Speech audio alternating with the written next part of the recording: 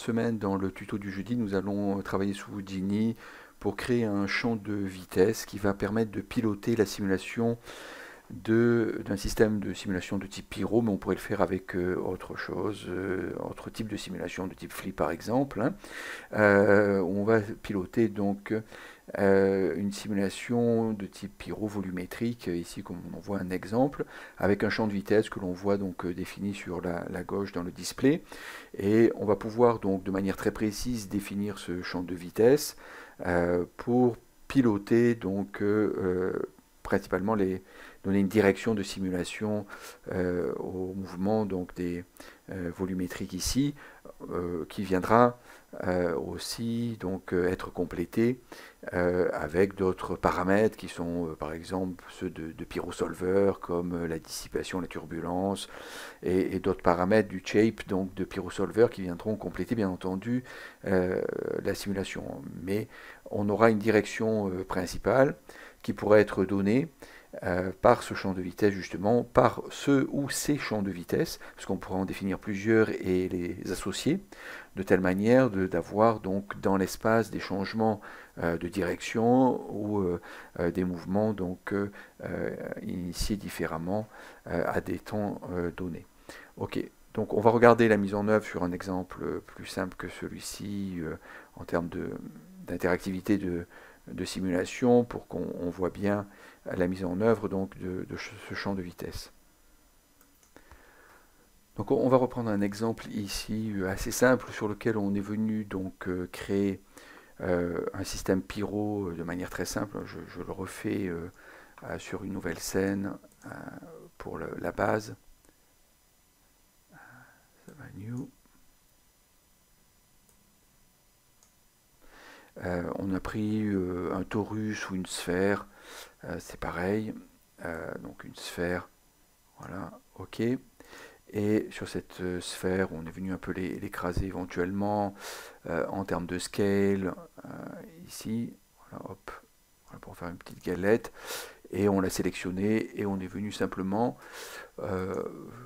utiliser un système billowing smoke ici sur Pyro. ok, voilà. Ce qui fait que on va avoir donc euh, un système de, simulation de type Pyro avec comme émetteur donc euh, la euh, sphère géométrie source qu'ils ont dupliqué de manière automatique. Ici on a donc le principe de la création justement donc volumétrique par le rasterize, le dernier node ici, la création donc d'attributs create density, température, et autres éléments euh, nécessaires, éventuellement la, vitesse, euh, si on veut le rentrer là-dedans, euh, du bruit, du add noise pour bouger donc tout ça, et puis rasterize ici pour le rendre volumétrique comme on le voit donc ici. voilà, on, a utilisé ce, système donc, de base sur lequel on a travaillé un peu le add noise pour le, le rendre plus, plus dur c'est-à-dire qu'on n'a pas autant de, euh, volume au départ. Euh, mais en dehors de ça, on a utilisé ce système-là. Et euh, ensuite, donc on a le pyro simulation, bon, le, pyro import ici, sur lequel on va avoir donc l'entrée, la source, density, from, sphere, object, source, voilà, de base. Et là, on va venir ajouter donc un, champ de vitesse euh, à partir donc euh, d'une line que l'on va créer. Donc euh, ici, on va revenir sur sphere object source, create density, alors density, ok, voilà, ok, et ensuite rasterize, ok, donc on va enlever le V de vitesse, bon, bah, après le reste on peut le laisser, même si on ne l'utilise pas, fuel, on peut l'enlever quand même. Voilà. OK.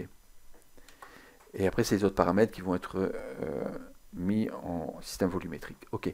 Euh, donc, du coup, on va créer euh, un champ de vitesse à côté.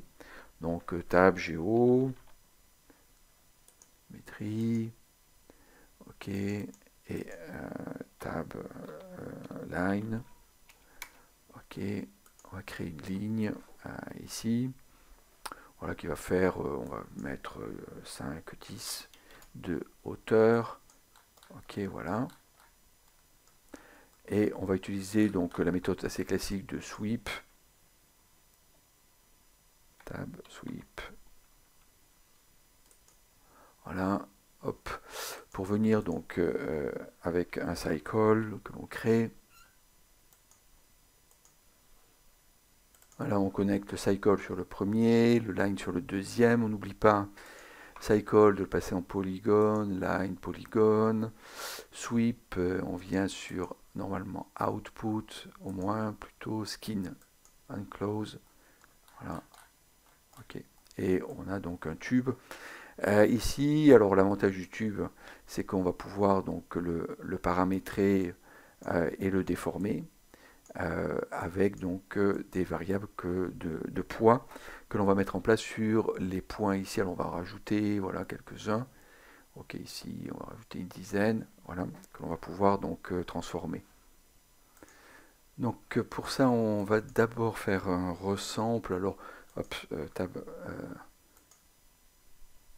plus pour euh, définir une variable plus que de, ressembler en fait, hein, véritablement.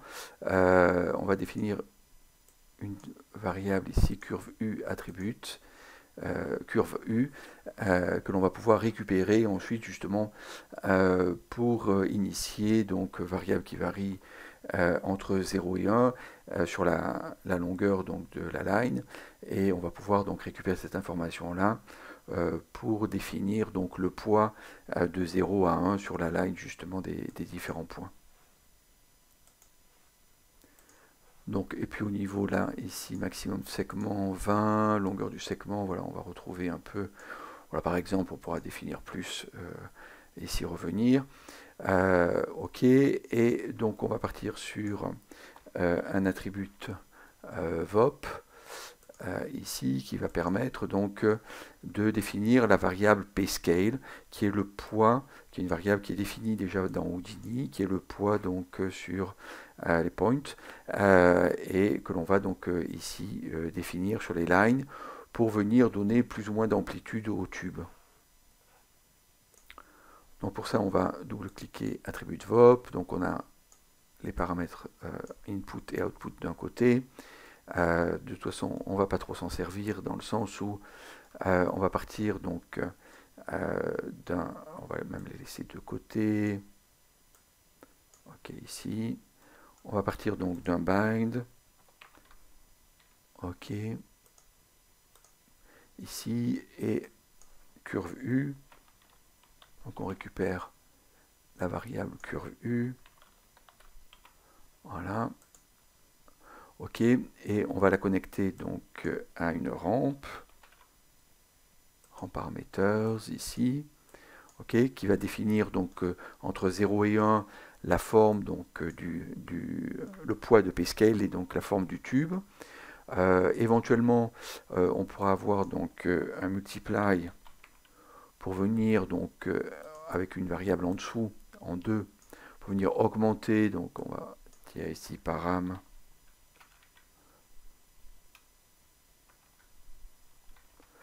parameters, ok.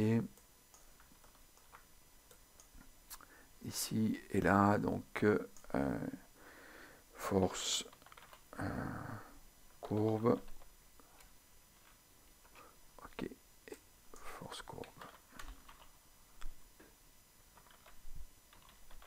Ok, euh, donc on va récupérer la rampe avec un effet multiplicateur éventuellement et on va venir donc initier donc la variable en bind export que l'on va appeler pscale, enfin on va l'appeler pscale, elle existe euh, telle qu'elle et donc il faut euh, bien retrouver donc l'écriture de telle manière qu'elle soit bien prise en compte comme le poids donc de euh, ici le poids donc des points qui va être assigné donc sur la ligne Ok?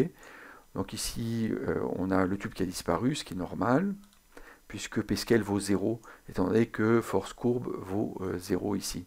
je remonte sur le groupe, attribut VOP, ici donc pscale,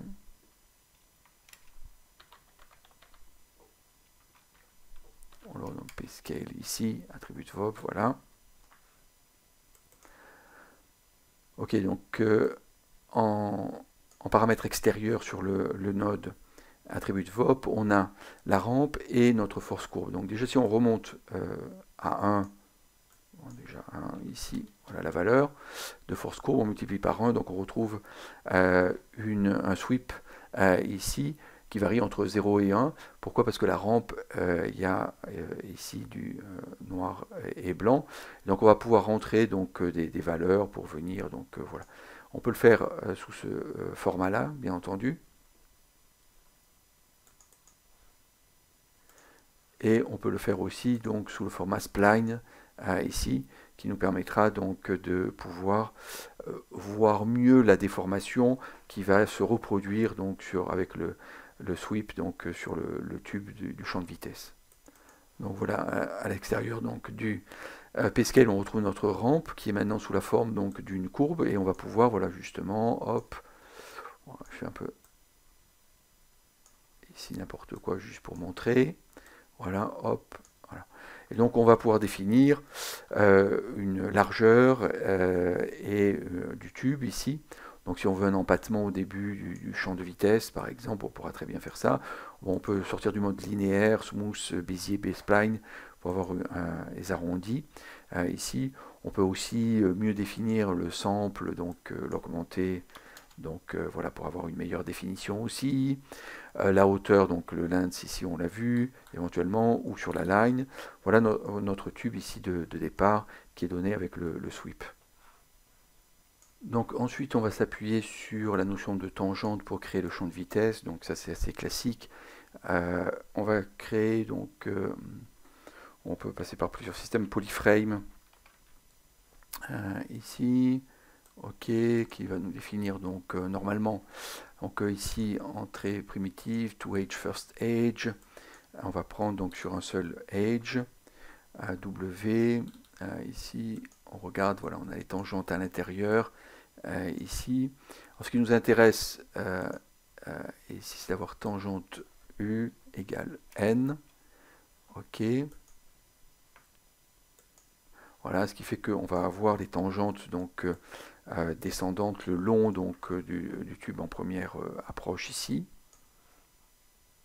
Et on va rajouter donc un attribut triangle maintenant qu'on a donc alors on peut vérifier qu'on a bien I information, donc curve UN, P et P scale, donc c'est des attributs qu'on avait besoin. Si on regarde le sweep au-dessus, il y a curve U, P et P scale et on n'a pas donc N tangente. Alors c'est une manière de le créer, il y a d'autres manières de le créer, add aussi, c'est possible. Euh, donc euh, on va venir ici euh, faire un attribut angle ici où on va écrire simplement n, donc la normale égale moins elle-même, n. Ok, point virgule, voilà. Ok, et on a donc les tangentes qui pointent euh, vers le haut. Ok. Donc on voit que certaines pointent, il y en a une ici à la jonction qui pointe pas vers le haut. Ok.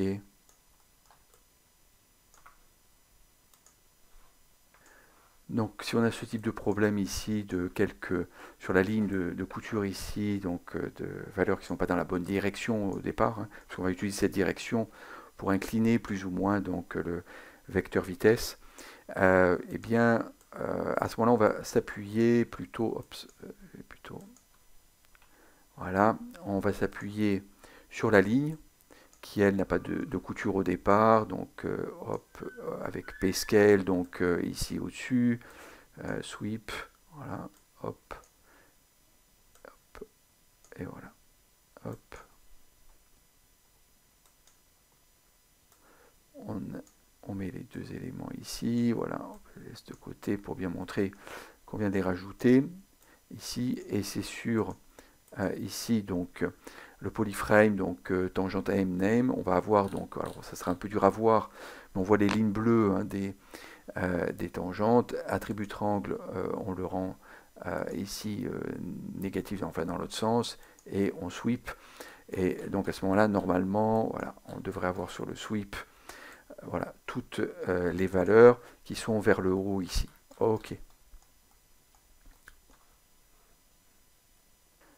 Donc à partir de là, on a une normale que l'on pourra euh, retravailler euh, éventuellement, c'est-à-dire lui donner avec un, attribut, ça on le verra dans un prochain tutoriel, rangle ici, des valeurs, comme on l'a fait sur celui du dessus, mais ici, n, on pourrait très bien donc lui donner euh, des, valeurs euh, angulaires. Euh, donc on peut rajouter un vecteur, par exemple 1, 0, 0.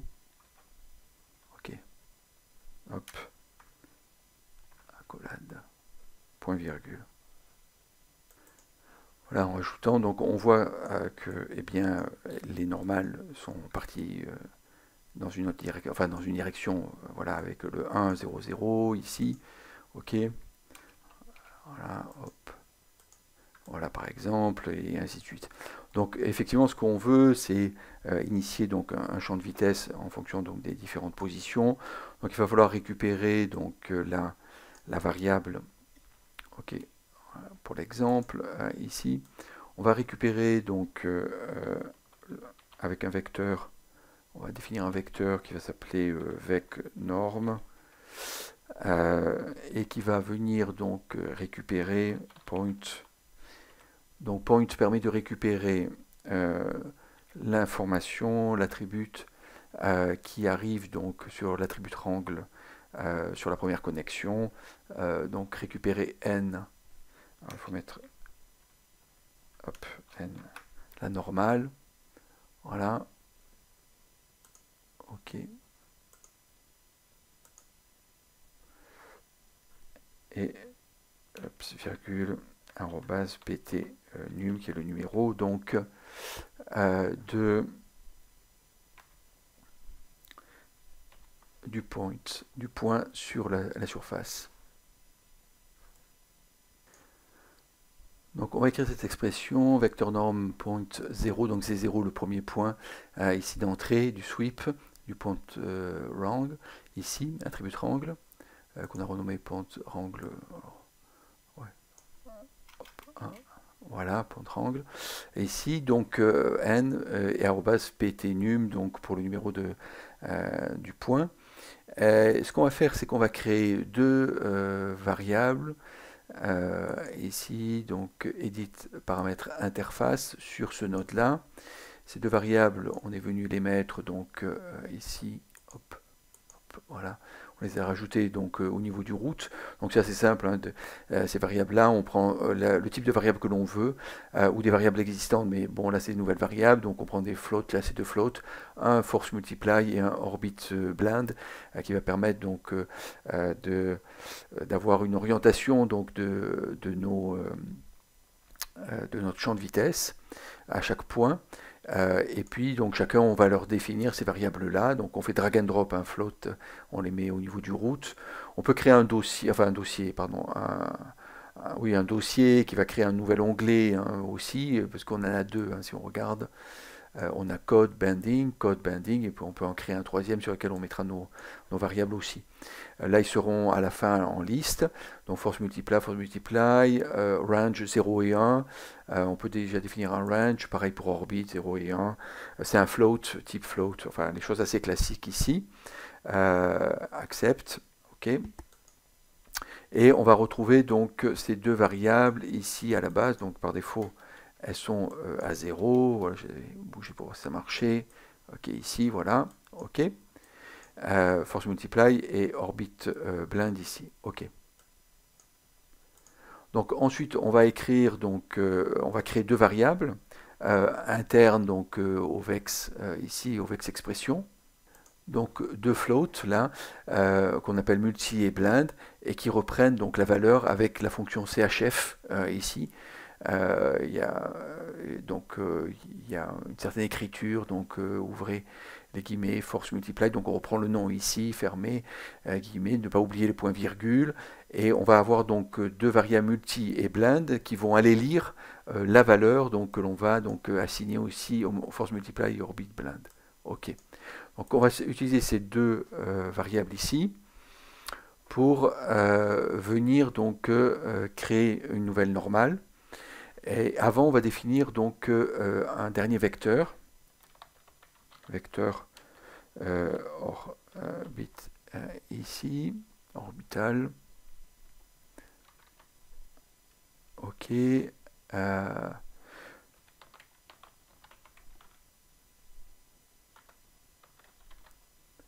va utiliser la fonction cross.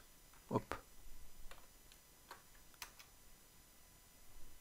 et on va récupérer donc vec norme et je vais expliquer n euh, ici et fermer deux fois ici et point virgule. OK.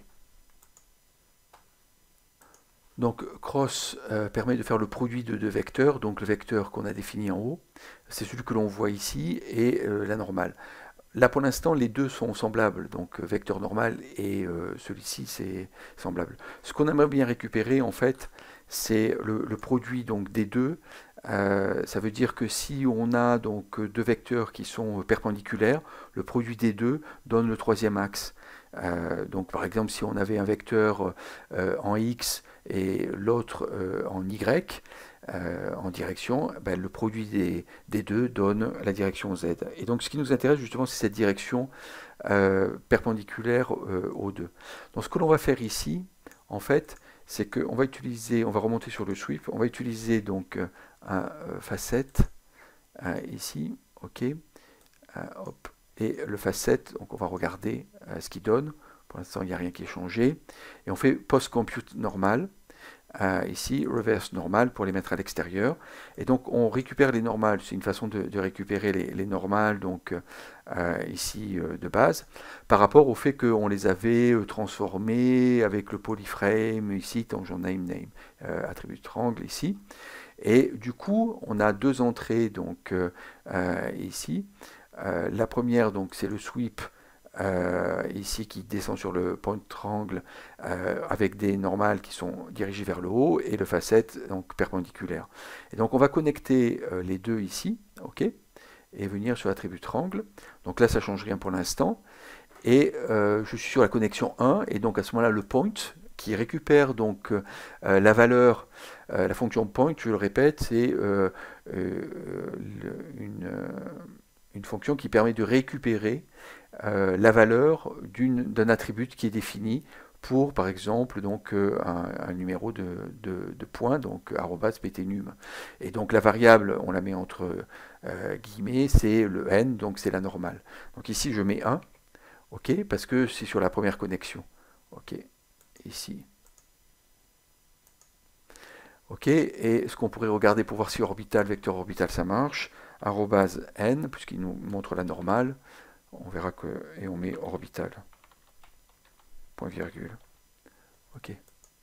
Voilà, donc euh, là, ce que l'on récupère, euh, on voit l'orbital, hein, donc euh, parce que j'ai fait n égale orbital, et comme j'ai cliqué ici sur display normal, on voit les normales. Ok. Et donc, on a bien le produit donc des deux, de celle qui était vers le haut, droite, et celle qui est donc euh, normalisée avec facette, et donc le produit des deux, eh bien, ça donne euh, celle-ci. Et donc celle-ci, c'est intéressant parce qu'elle elle est euh, sur l'axe donc de...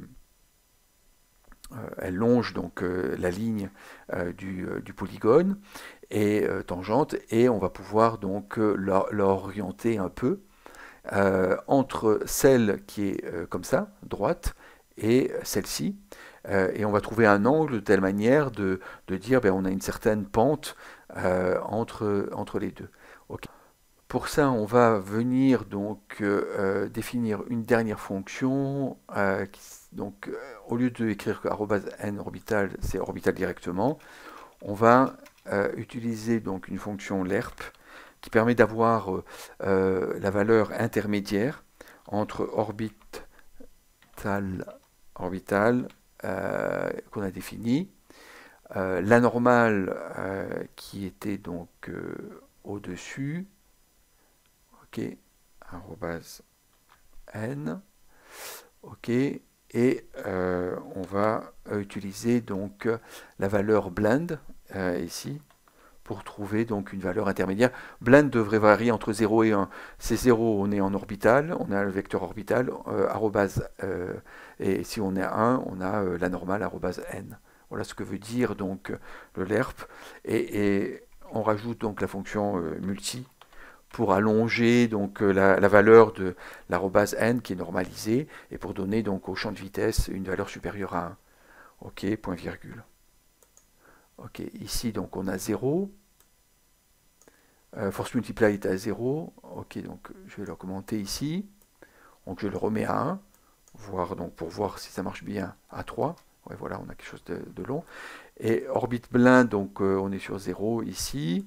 Et voilà, donc on va pouvoir orienter. Et donc si on est sur 1, et puis on retombe sur euh, enfin la normale, n, qui était définie au-dessus ici, dans le sweep donc l'arrobase n. Euh, ici, dans le facette, on fait rentrer le deuxième. Euh, c'est le vecteur, euh, ce que j'ai appelé donc vecnorm, qui le récupère, ok, qui nous sert à faire le cross. Et ensuite, on compare donc les deux. Enfin, on compare les deux. On fait un lerp. Donc, on cherche une valeur moyenne. Enfin, une valeur moyenne. On cherche une valeur comprise entre orbital et arrobase n avec euh, la valeur blind euh, comme euh, valeur indicative donc sur le passage d'une valeur à une autre. Donc ça c'est assez intéressant et ça nous permet donc, hop il faut que je revienne sur, de pouvoir orienter, alors normalement on pourrait orienter en valeur négative aussi, moins 0,5, voilà, éventuellement on va réduire un peu le, voilà, et donc avoir une pente descendante ici sur l'ensemble de nos, voilà, ok. Donc avec avec ces possibilités-là, euh, on va pouvoir donc euh, piloter euh, le, champ de vitesse, un champ de vitesse ici qui est défini. Alors ici sous la forme d'une tornade un peu, mais on peut définir n'importe quelle forme, bien entendu, hein, et redéfinir éventuellement la normale et ainsi de suite. Donc pour terminer assez rapidement ici, en fait ce qu'on va faire, c'est qu'on va définir, on a plusieurs méthodes pour définir ensuite pour l'envoyer dans le pyrosolver. On a maintenant le pyrosource si on veut, qui nous permet donc euh, de définir euh, la variable, donc euh, ici mode surface cutter, on va donc on est sur en mode surface, attribute donc plus 1, name on va l'appeler donc c'est custom velocity, ok v donc on laisse défaut 1 0 par défaut scale 1 ici, ok particule séparation donc après voilà on a les points, on les voit apparaître ici. Voilà. Particule séparation 0,2, euh, on a moins de points. Euh, particule scale, on laisse 2, on peut mettre 0,1 pour avoir plus de points. Ici, voilà. OK. Donc, euh, source plutôt smoke, on sera. Source smoke, voilà. Initialise, on laisse tout le reste. Euh, ça permet d'avoir la velocity. Alors après, il nous a, oui, source smoke, il nous a défini les autres. Donc, hop, je n'avais pas à les définir. Velocity, c'est bon. Ok, voilà. Euh, on laisse source smoke. Surface kiter. Ok, 0,2, attribute. Voilà. On a défini donc la variable pyrosource ici, euh, en velocity. Ok, on va prendre donc maintenant tab un attribut juste encore un attribut triangle, pour dire en fait que euh, maintenant que la vitesse est définie, arrobase vitesse égale euh, arrobase n, point virgule. Ok euh, Ici. Et donc du coup, on a donc ici tous les points qui ont été définis par pyrosource qui reçoivent donc la, la, proximité donc par rapport au, aux ressources qu'on a définies, donc partie séparation 0,1, 0,2, euh, ici, euh, reçoivent donc, euh, je vais remettre 0,2 pour en avoir moins quand même, voilà, ou 0,15, ok, et reçoivent donc l'information de la normale, et de, enfin de la vitesse par rapport à la normale ici, et donc on a un champ maintenant de, vitesse que l'on peut donc transformer en information volumétrique avec le volume rasterize attribute. il y a d'autres méthodes aussi. on avait vu la méthode par le VDB aussi. Hein. volume rasterize attribute. Ok, voilà, ici.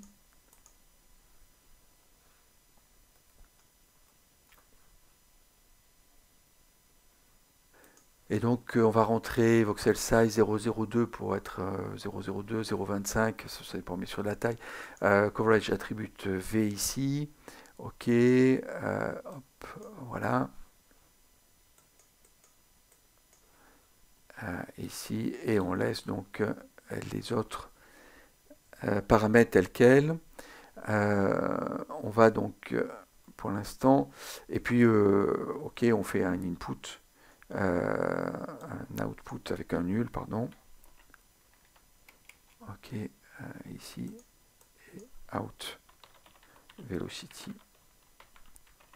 Ok, du coup, pour terminer, euh, on vient dans Pyro Simulation qu'on a défini ici, et on va rajouter donc un volume source, tab volume source, ici, ok, et on le connecte.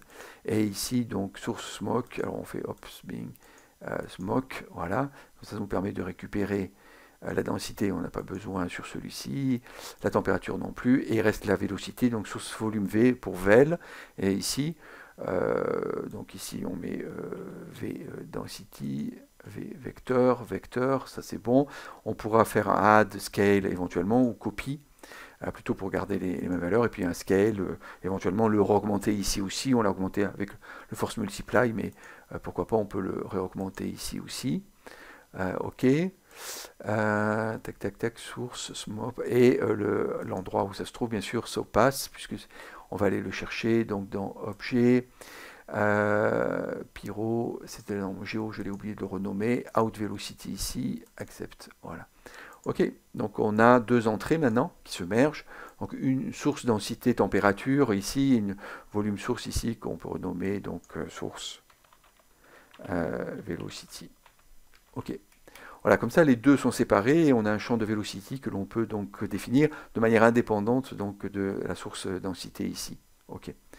Je vais reprendre mon exemple maintenant. Voilà donc exactement ce que j'ai fait euh, ici. Donc pyrosimulation, je reviens ici. Donc euh, ici, j'avais mon volume source smoke euh, ici. Donc je ne l'ai pas renommé ici. Donc source velocity. Et pour le reste, ça sera bon. On merge.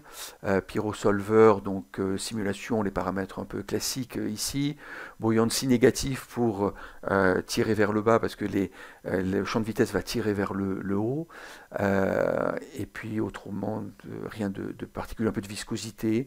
au niveau dissipation ici, donc on a mis, peut mettre 0,2 euh, disturbance 0,1 et euh, surtout, alors on va mettre donc la dissipation par rapport à la density plutôt. Voilà, la disturbance elle est par rapport à la velocity, ça c'est euh, classique. Euh, ici, et puis on a une pente donc de telle manière de d'avoir donc dès que la densité, alors on va faire l'inverse ici, voilà,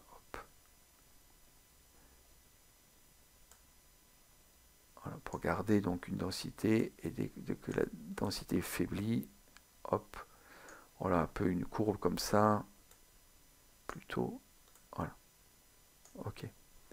On va regarder ce que ça donne. On voit un peu le résultat, on voit encore le champ de vitesse, les points euh, ici, et donc voilà le, résultat. Donc on voit que les donc euh, l'entraînement se fait avec une torsion ici euh, due au champ de vitesse. Alors bien entendu, on peut revenir sur le champ de, vitesse euh, ici, sur notamment, ah, hop, on voit bien la torsion ici se faire. Et donc si on veut euh, une montée moins importante, on reviendra donc ici sur les paramètres force multiply et orbite, ici ça s'appelle orbite blend, c'est pareil. donc on viendra mettre à 0 euh, ici. OK. Voilà, on voit bien donc euh, le champ de vitesse là euh, est à plat, on va dire. Hein, OK.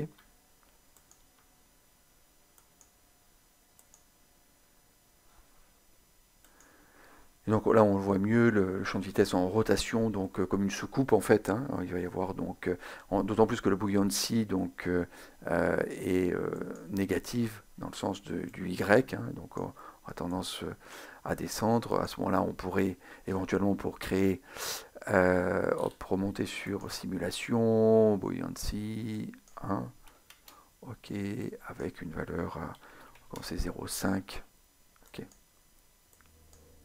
voilà, donc ça va permettre d'initier un mouvement qui sera complété, comme on est en train de le faire, par euh, euh, les paramètres de simulation, les paramètres de shape aussi, euh, qui vont permettre d'additionner au champ de vitesse que l'on vient de définir ici.